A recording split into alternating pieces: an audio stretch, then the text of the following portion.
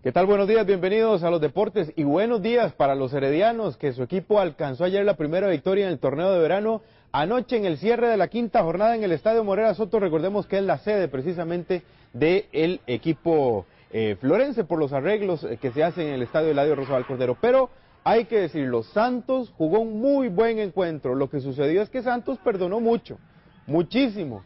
Tuvo eh, varias opciones en la primera y la segunda parte del equipo de Ronald Gómez, pero en el fútbol, el que no las hace, las ve hacer. Y eso exactamente fue lo que le sucedió a Santos, que tiene eh, jugadores que ayer mostraron bueno, buen rendimiento, como Ariel Rodríguez, como Aneta Conceição, entre otros futbolistas, pero que no lograron anotar y sí lo hizo el Herediano. Aquí está Félix, vean ustedes, para darle eh, la única anotación al Team Florense, faltaban Tres minutos para que terminara el partido, obviamente que se la desvían ahí, pero el gol es de Félix. Y ahí están los tres puntos para el Herediano, los primeros tres de este torneo para el equipo de Luis Diego Hernández.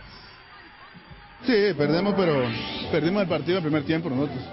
Teníamos que haber anotado por lo menos dos o tres goles en este partido, porque el rival no presentó nada para nosotros.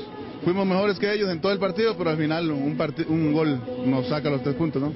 Sí, sí, valioso por las circunstancias ya tenemos tres puntos más, tenemos cuatro y estamos ya cerca de, la gente que está punteando el grupo. Y siento que, es, que deberíamos tener por lo menos unos dos puntos más, dos, tres puntos más, pero eh, hoy lo importante era ganar, al final ganamos, siento que el segundo tiempo nosotros lo controlamos.